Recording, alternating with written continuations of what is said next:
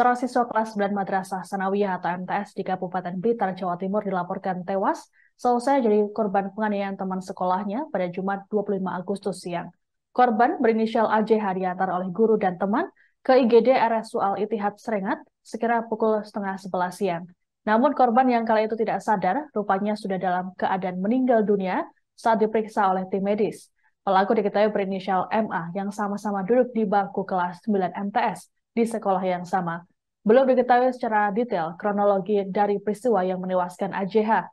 Penanggung jawab IGD RSUAL Itihad Serengat, Dr. Denny Krisna mengatakan, saat melakukan perawatan jenazah, pihaknya menanyakan peristiwa yang dialami korban pada guru dan teman sekolah. Ada dugaan bahwa peristiwa ini dipicu pertengkaran antar siswa.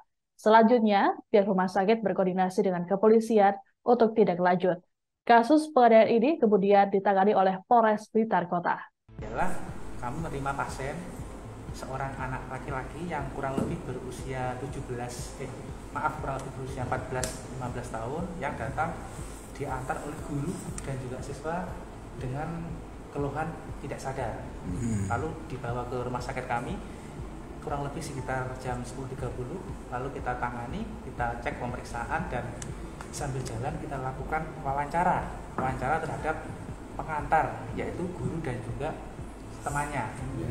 Kira-kira seperti apa kejadiannya dan lain-lain seperti itu? Kurang lebihnya ialah adanya mungkin uh, ya pertengkaran antara dengan temannya yang kita belum mengetahui penyebab pastinya karena apa. Ya. lalu kita sampai dengan UPD saya beserta tim jaga melakukan pemeriksaan dan lain-lain yang ternyata sampai UPD sudah tidak ada. Hmm, okay jadi memang sampai GD kurang lebih jam 10.30 itu keadaan sudah tidak ada. Lalu kita lakukan perawatan jenazah dan juga kita edukasi terkait guru. Dan beberapa waktu kemudian orang tua datang sambil kita lakukan interview atau wawancara dengan keluarga atau rekannya yang diduga kemungkinan mengetahui apa sih kira-kira penyebabnya yang masih kita juga kemungkinan e, dari wawancaranya mungkin pertengkaran atau sebab lainnya.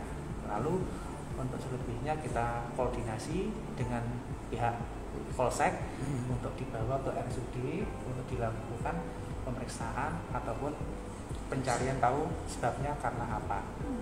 Yang biasa sampaikan kurang lebih seperti itu. Ya. Kalau pihak pihak apakah melakukan semacam visum atau pemeriksaan luka luar? Terima kasih sudah nonton. Jangan lupa like, subscribe, dan share ya.